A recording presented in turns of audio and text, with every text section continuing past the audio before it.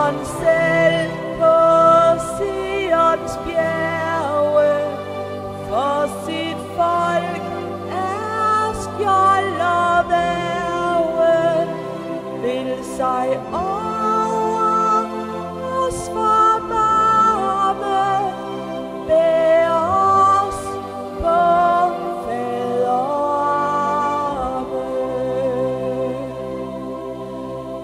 Ingen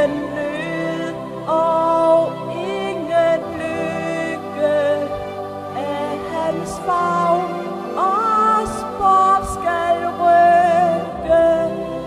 Han den